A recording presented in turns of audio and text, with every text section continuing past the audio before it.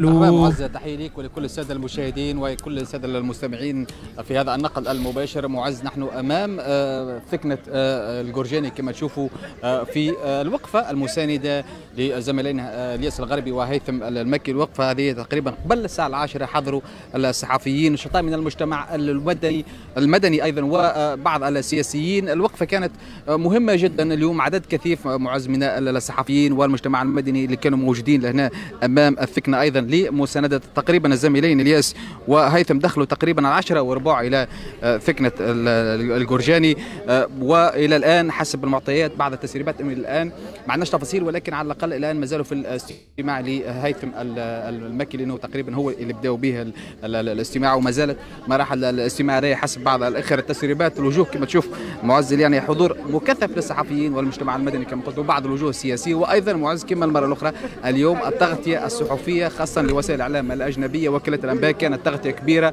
جدا وحضور حتى كثيف مع الصحافة للتلفزيات الوطنية للتلفزيات العربية والأجنبية. أيضا كل المراسلين تقريبا كانوا موجودين هنا في اخذ تصاريح لين حيثيات القضية. إحنا باش نعرفوا ربما تفاصيل أكثر عن الموضوع هذا. معنا ثامر المكي وهو رئيس تحرير موقع نواة وأيضا شقيق هيثم. مرحبا بك. مرحبا. وقفة اليوم المساندة من العشرة نتاع الصباح الناس موجودة صحفيين مجتمع مدني أيضا محامين وسياسيين اليوم من أجل مساندة لإلياس وهيثم.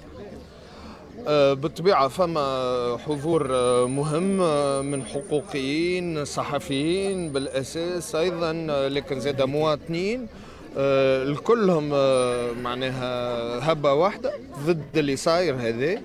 اللي صاير اليوم مرينا من التهديدات على حرية الصحافة إلى تنفيذ هذه التهديدات. نذكروا اللي قضية اليوم والتتبع اللي ضد هيثم المكي والياس الغربي سبقوا سجن نور الدين بوطار. والناس الكل تعرف اللي الملف فارغ تماما وحتى السلطة في حد ذاتها محرجة من ملف مدير إذاعة موزايك نور الدين بوطار. فما زاد الحكم على خليفة القاسمي مراسل موزايك في القروان بخمس سنوات سجن. آه واليوم فما التتبع هذا ضد هيثم والياس بعد كل الاعتداءات على الصحفيين بمختلف مشاربهم ومختلف وسائل اعلامهم بالتضييق بالتعتيم على المعلومه آه بالتسكير على النفاذ للمعلومات والوثائق الإدارية اللي صايرة على الصحفيين وعلى غير الصحفيين. اليوم حرية الصحافة وحرية التعبير اللي هو مكسب مواطني بالأساس اللي هو مكسب مهم جدا للمواطنين الكل على خاطر الدفاع على حقهم في معلومة مستقلة وتعددية. هذا هو جوهر المسألة ما مسألة قطاعية تهم الصحفيين كهو لكن مسألة حق المواطنين الكل في المعلومة. راو التعبئة هذه وراو الحضور هذايا اللي ما يدل إلا على وعي خطورة المرحلة خطورة اللي صاير ويدل زاد على أنه فما قوى مضادة لل... للقمع اللي صاير هذايا اللي حاضرة باش تتحرك وحاضرة باش تتنقل باش تواجه الوضعية هذه. من بين ما تحكى فيه اليوم في الوقفة هذه ثامر إنه سرعة الإجراءات اللي صارت اليوم من تقديم الشكاية لتحديد جلسة ثم رفض تغيير الفرقة كيفاش قريتوه أنتم هذه لاحظوا اللي فما جزء جسم مارق على القانون وجسم ديما التعامل معاه يكون فيه تفضيل ليه وفيه علوية ليه اللي هو النقابات الأمنية. وهنا النقابة الأمنية اللي شاكية تشكي بعد المداخلة الإذاعية متاع هيثم موضوع الحال معناها بنهار. يجي الاستدعاء من غدوة للمثول في النهار الثالث بينما أن نعرف اللي العديد والعديد ومئات وآلاف المواطنين قضاياهم ومسار التقاضي اللي في علاقة بالمظالم اللي يتعرضوا لها يدوم سنوات وسنوات باش يتحرك شوية. اليوم ما نجموا تقراو هذا؟ هذا يعني طرف وحكم معناها في نفس الوقت.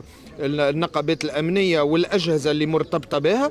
يعني البوليس في تونس مازالت عنده علوية. إحنا اليوم جينا لهنا. هذاك علاش؟ الشعار الأول اللي ترفع حريات حريات. دولة البوليس وفات وما عاش اللي يحب يرجعها. القضية تعتبرها حقوقية صحفية مسيسة اليوم. ثم فيها طابع على السياسي بتاع مسار 25 ربما. أظن اللي قضية سياسية بالأساس لأنه هيثم والياس الغربي اليوم هيثم مكي والياس الغربي قاعد التتبع نتاعهم وفقا لرأي سياسي حول إصلاح المنظومة الأمنية. نذكروا أيضا بعنصر مهم برشا اللي النقد اللي قاموا به مسألة الانتدابات في وزارة الداخلية وكل كان على إثر تعليق حول اللي وقع في جربة. واللي وقع في جربة ما هوش شوية والمؤسسة الأمنية يلزمها تراجع روحها في انتداباتها وكل باش اللي تنتدبهم ما يقتلوش زملائهم اللي دورهم حفظ السلام في البلاد. كي نلقاو عناصر كما هكا من المشروع والمشروع جدا نقد المؤسسة الأمنية. والانتدابات اللي فيها والخور اللي فيها. واضح والقضايا متتالية اللي أبرزت اللي فما خور كبير في المؤسسة الأمنية وفي اختيار عناصرها وفي تكوينهم. والشيء هذا نقدوه العديد من المنظمات وكل شيء. الشيء هذا تعرضت له العدالة الانتقالية ومن حق الصحفيين بما فيهم هيثم المكي التعرض ليه. واضح. شكرا لك. شكرا. مع الم... لحظة. تفضل سعيد تفضل. شنو توقعاتكم؟ حسب ما حكيتوا مع المحامين شنو متوقعين اليوم؟ نتفادى أي توقعات إلى حد الآن؟ عرض صحفيين على فرقة القضايا الإجرامية في حد ذاته خطر نطلب أن الصحفيين تتواصل اتباعهم ما همش فوق القانون لكن اتباعهم يتم وفق المرسوم 115 ومش لمساءلتهم حول محتوى صحفي إنما لمساءلتهم حول الاخلالات أو التجاوزات واضح شكرا لك.